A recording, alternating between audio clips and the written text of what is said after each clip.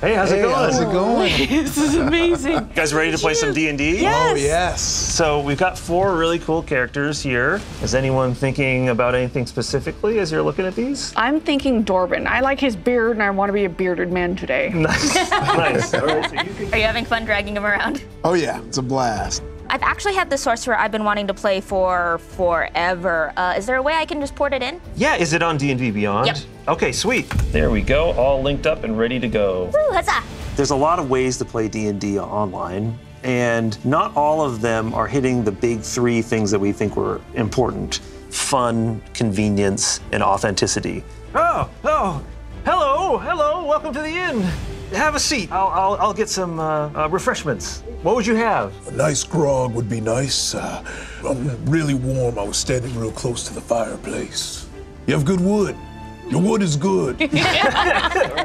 Everyone hears scratching noises in the walls. Barton's like, damn rats! And he kicks the wall. I'd like to roll perception to see if I can figure out where the sound is coming from. Yeah, so you want to go to the walls and kind of look around. Mm-hmm. Fire breaks out. The whole inn shudders a little bit. Dorbin, do the rats you encounter normally move buildings? Not anyone that I've seen. There might be more to this than rats. What I want to do is connect all my friends and play with them. They're on their computers, they're on their phones, they're on their game consoles, but we're all together playing through the same virtual tabletop. So that's the dream right there. Yeah. Ceiling crashes down. Everybody make a dex save. Oh, okay. Okay. Uh, So that's under dexterity. It'll be the top up there. It'll be dexterity saving throw. ooh, a solid nine. So now you roll two dice. Oh, that's so cool. Okay. Uh, Well, let's see how cool it is after you roll. We're in Unreal 5, which is latest, greatest. But now we're actually testing with friends of people who work at Wizards and their families. It's got spells, it's got effects, it's got a lot more rules in it. So those sort of things are what we've been adding. Uh, I will go over to this flame here and sort of rub my hands together and go, all right, please work, please work, please work. And I'm going to cast control flames Nice. to extinguish them. We're just trying to like show you where the rules are, not being like, oh, once you get to the end of that, you can't move anymore, because that's not Yes. really D and D to us. It's like if your DM's okay with it and you want to do a flip and land on the table, then that's just how the game gets played.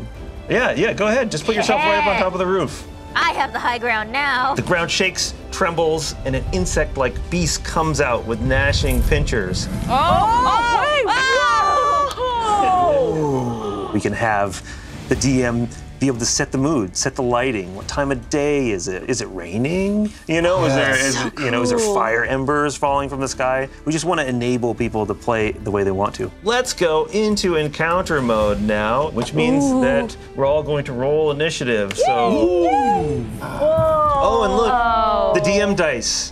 Two 20s. No. it always happens. So he's going to turn around and actually acid spray Oh. the kobolds. oh my God! Stop! Really? D&D is the first mod community. Yes. Right? Like if yes. you go all the way back. We're going to make our own content, but we want to make that content out of building blocks that everybody can break apart and make their own content from because that remix is like core to the DNA of, of D&D. I will use my long sword. Here we go. Oh. Hello. Uh. Well, that got his attention. Oh no! Oh. you might want to just give this one up and run. So, with these tools that you're going to hand to the players, is there a way for the community to share assets? The strength of it is the community and the community creating everything. And we create stuff and then the community tries to one up us and then we try to one up the community, right? Like that's a big part of it. And you know, having that sort of marketplace where you can just like download other people's stuff and check it out, I think that's like a core to the, the final experience. Then I'm going to hold out my hands and cast magic missile uh, with all of them focused on the Ankheg. We're going to put everything in the monster manual in it. We want you to be able to, you know, play the game as it's written. I have eight hit points. I don't do physical activity.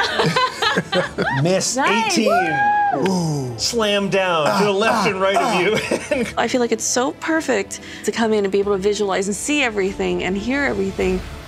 That's what my favorite thing about this whole VTT is. There's always like a group of people that want to take that, you know, five hour prep. And there's people like me that just like, give me an in, Yeah. Yeah. some characters, and I'm playing. oh, there we go.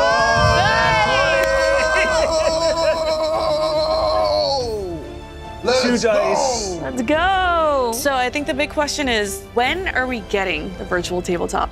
Next, we're just going to open it up slowly to more and more people so that hopefully a lot of the people listening will be able to play it this year. I hope that you are so very proud of this because I was in awe. I am glad that you guys like Yeah. it. And Yeah. You never know, right? That's Oh, where yeah. I'm at with the developer. Is like, I need the feedback. I Yeah. need the loop.